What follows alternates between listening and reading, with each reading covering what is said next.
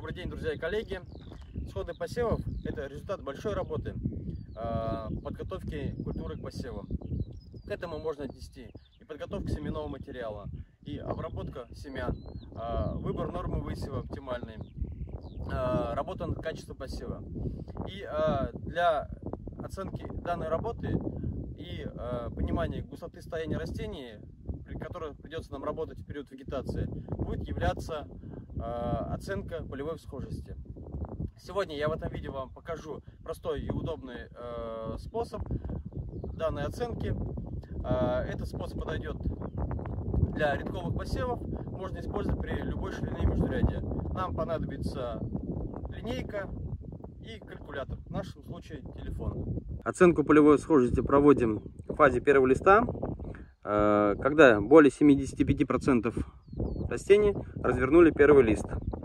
Для начала нам необходимо посчитать количество растений в двух рядках на одном погонном метре.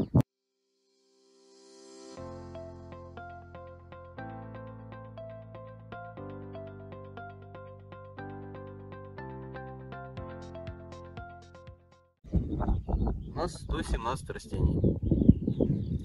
Также нам необходимо знать ширину междурядий, в нашем случае 15 сантиметров. Для подсчета количества растений на квадратный метр нам необходимо э, найти коэффициент пересчета. Для этого 100 делим на э, ширину двух междурядий. Это у нас 30 сантиметров. Получается 3, 33. И э, это количество умножаем на количество растений на погонный метр.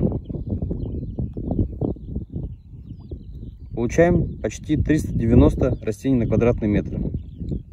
А, далее мы, а, зная количество растений высеянных на квадратный метр, это у нас 430 штук на метр квадратный, мы можем найти уже полевую схожесть. Для этого мы делим это количество на 430.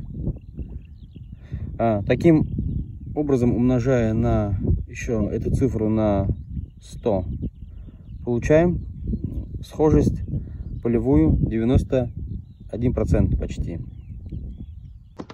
Но эту формулу мы можем упростить.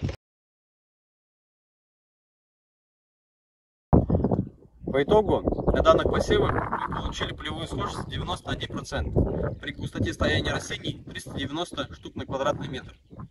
Данные измерения необходимо а, проводить минимум 6 повторностях на 100 гектар по диагонали поля. При увеличении площади поля количество измерений необходимо увеличивать. Это был агроцентр Оренбург. До скорых встреч!